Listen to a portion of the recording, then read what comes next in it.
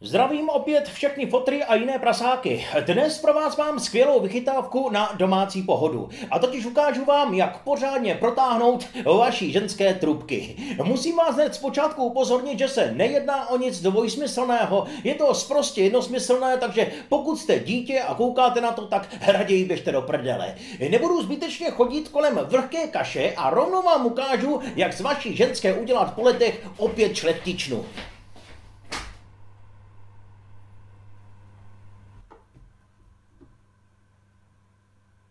Tak, já jdu udělat ten hajzl.